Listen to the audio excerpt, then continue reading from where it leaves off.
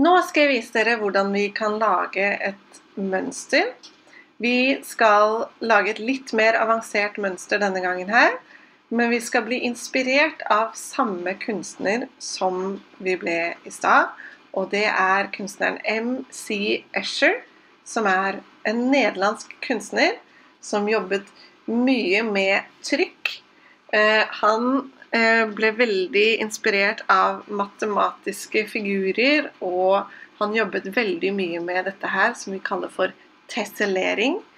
Der det er figurer som er helt like, kopiert mange ganger og plassert inn i hverandre, sånn som dere så på det bildet her.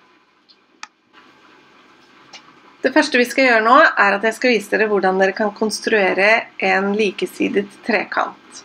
Jeg har målt opp et linjestykke her. Det er 10 cm langt. Og så bruker jeg en passer som, der jeg tegner et lite kryss i midten her. Og disse, dette krysset er også 10 cm vekk fra det hjørnet som kommer her nå. Og det hjørnet som kommer her nå. Sånn. Da er dette en trekant, og alle sidene er 10 cm. Nå setter jeg et lite merke midt imellom her, på der hvor det er 5 cm. Og det merket skal jeg bruke nå, for nå skal jeg tegne opp et lite mønster eller en liten bord eller en liten figur her. Eh, sånn som dette. Og så klipper jeg ut. Nå skal jeg klippe ut hele trekanten. Og så til slutt skal jeg klippe ut denne lille borden også.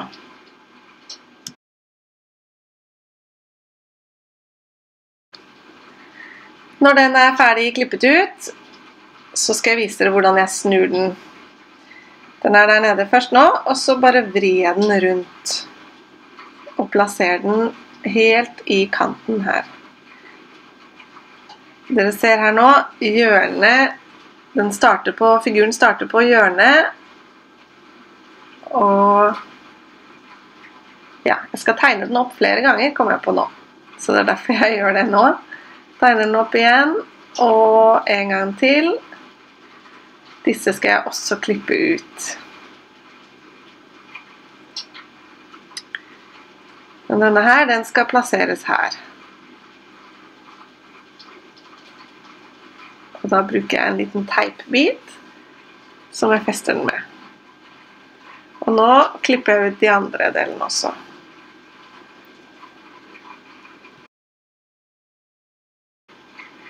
Her ser dere hvor den sto, og hvor jeg plasserer den. Helt nederst i hjørnet.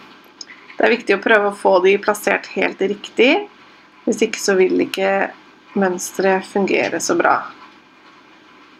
Så jeg legger den helt i hjørnet. Og så klipper jeg ut den siste figuren.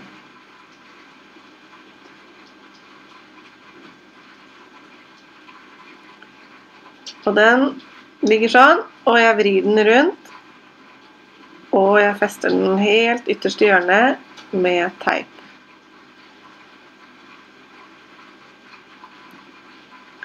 Og så klipper jeg av de teipbitene som stikker litt utenfor. Nå har vi starten på mønstret. Denne skal jeg kopiere mange, mange ganger på et ark. Og fylle hele arket med denne.